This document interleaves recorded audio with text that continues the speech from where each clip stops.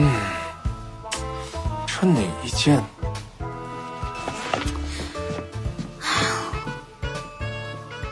你衣服颜色不都差不多吗？需要挑那么久吗？我是在选今天哪一件更适合。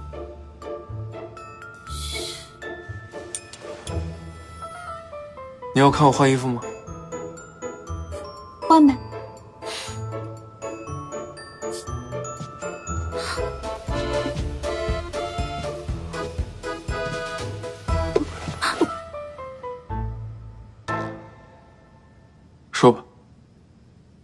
你的解决方案是什么？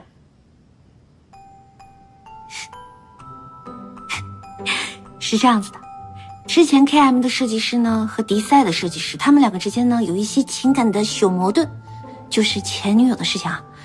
但是呢，据我所知，他们两个现在已经缓和了。我觉得呢，与其让他们两个直接合作，不如让他们两个联名开一个一个月为期的快闪店，这样话题度会更高。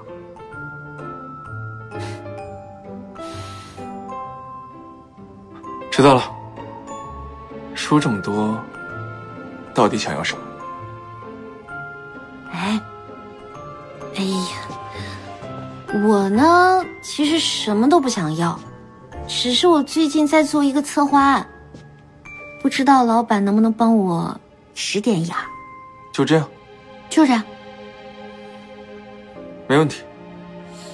既然你没有别的要求，今晚就继续给我读书。知道，老板，书马上准备好。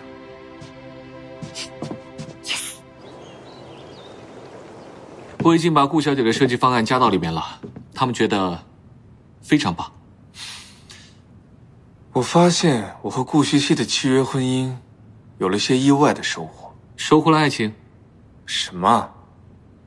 我是说顾西西的聪明才智，帮我解决了不少麻烦。我突然发现。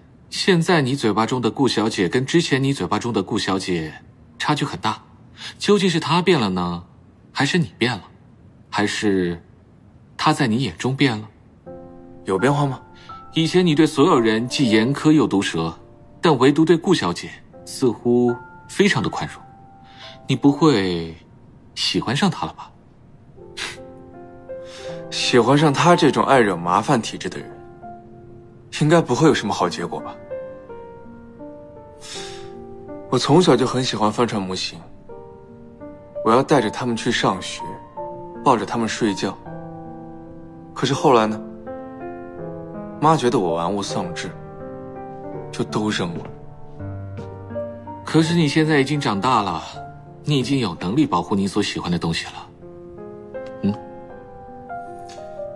可是越喜欢就越容易失去，我不喜欢失去的感觉。